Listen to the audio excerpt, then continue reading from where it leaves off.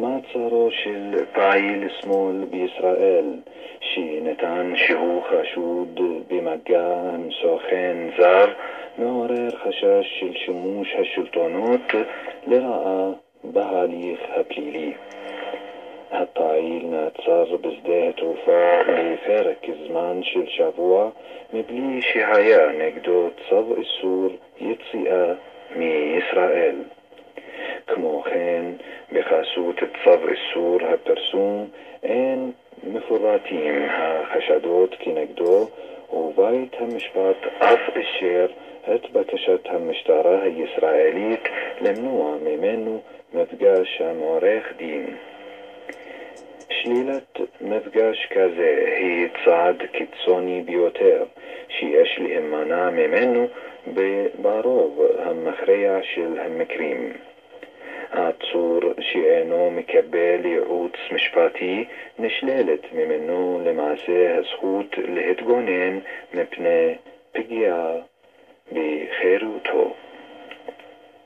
השילוב של צו איסור הפרסום ואיסור המפגש עם עורך הדין מביאים למצב מסוכן. מהחשוד נמנעים הן אור השמש המחטא, שיכול לאפשר, לאפשר ביקורת ציבורית על המעצר במקרה הזה, והן הייעוץ המשפטי שיכול לסייע לו. החשדות הנוגעים לפעיל, פעיל השמאל, מבוססים רובם ככולם, ככל הנראה, על תוכנית טלוויזיה שהתבססה על הקלטות שעשו פעילי ארגון ימין בעל אוריינטציה פוליטית ברורה. אף על פי שאין לזלזל באמירות של האדם על כך שיסגיר אנשים לעינויים או למוות, הרי שלא ברור כלל שדבר כזה אכן אירע בפועל, ושאדם כלשהו אכן הוסגר ועונה, קל וחומר הוצא להורג כתוצאה מפעילות העצור. יתרה מזאת, יש לתהות על דאגתה הפתאומית של המשטרה של ישראל, כמו גם של שרת המשפטים איילת שקד, ודאי של ארגוני הימין, לחייהם של פלסטינים. זכויות האוכלוסייה הפלסטינית היו עומדות לנגד עיני רשויות החוק של ישראל, הן היו נוקטות באמצעים חריפים להפסקת מקרי האלימות והדיכוי כלפי אוכלוסייה זו מצד צבא הכיבוש הישראלי וגם מצד המתנחלים.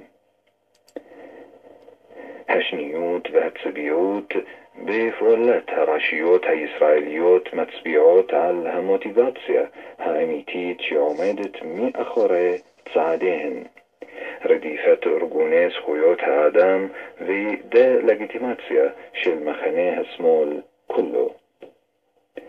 המצער בחסות החשיכה הוא בחסות החשיכה הוא צעד נוסף בניסיונות השלטוניים לרמוס כל התנגדות ואופוזיציה לכיבוש הישראלי. מצער מאוד ומביך שבית המשפט של ישראל נותן להם יד עוזרת.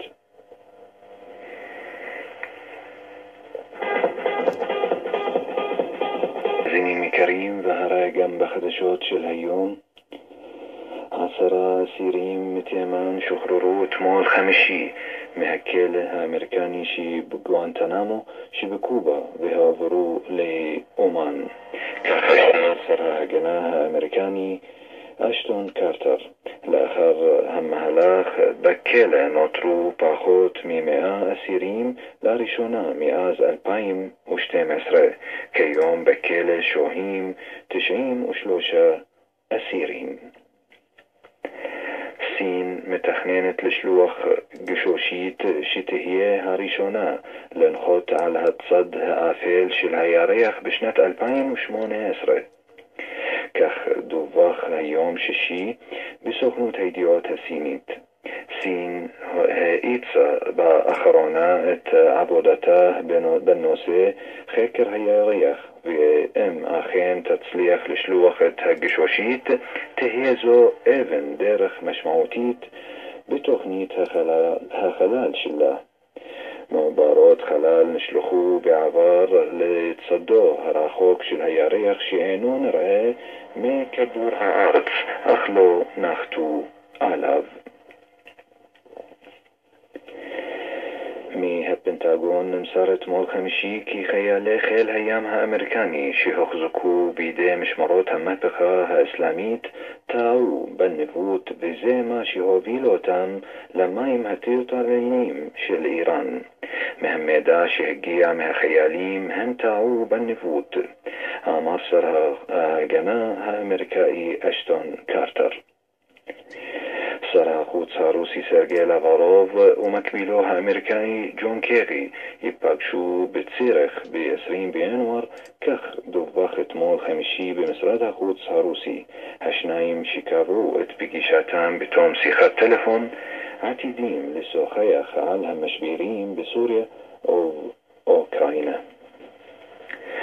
רוסיה תחל לספק סיוע הומניטרי לתושבי סוריה, כך נמסר היום שישי ממשרד ההגנה הרוסי. לדבריהם, מטוסי חיל האוויר הרוסי סיפקו 22 טונות של ציוד הומניטרי באזור דרזור בצפון מזרח המדינה.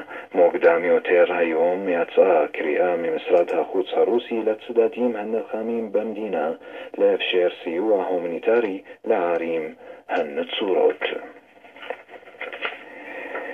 רוסיה אישרה לחיל האוויר שלה להתפרס בסוריה לזמן בלתי מוגבל במסגרת הסכם שנחתם בין המדינות באוגוסט האחרון, כך נחשף אתמול חמישי במסמך מתוך ההסכם.